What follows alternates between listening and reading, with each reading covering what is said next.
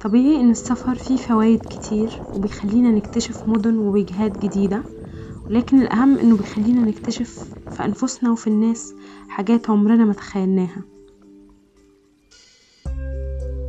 خليني أشارك معاكم دروس اتعلمتها من السفر. أول درس هي عادة التأمل.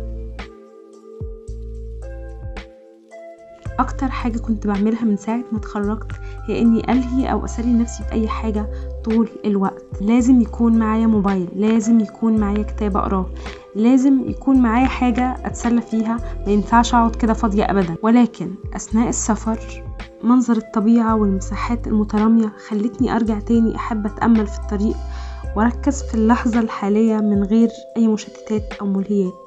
فقط إني أكون مايندفول بنفسي وبالمكان اللي أنا فيه وأركز في تفاصيل السماء والسحاب وأشعة الشمس الدافية على جلدي شكل الجبال أو شكل الشجر بدل ما مخي يقعد يفكر في مليون فكرة عشوائية.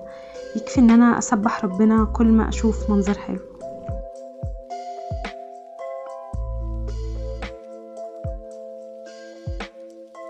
تاني حاجة اتعلمتها في السفر أو هي حاجة كنت أعرفها اوريدي وفي الحقيقة كلنا عارفينها ومؤمنين بيها ولكن بننساها وهو إننا جينا الحياة دي لوحدنا وهنتحاسب لوحدنا.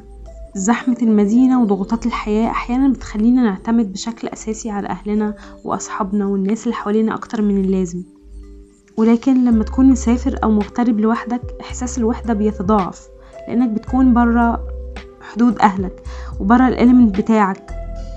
آه في ناس هتساعدك وآه أكيد هتتعرف على ناس بس بشكل كبير شعور الوحدة هو اللي طاغي. وكل ما أسرعت في إدراك الحقيقة دي كل ما هتحس بالحرية.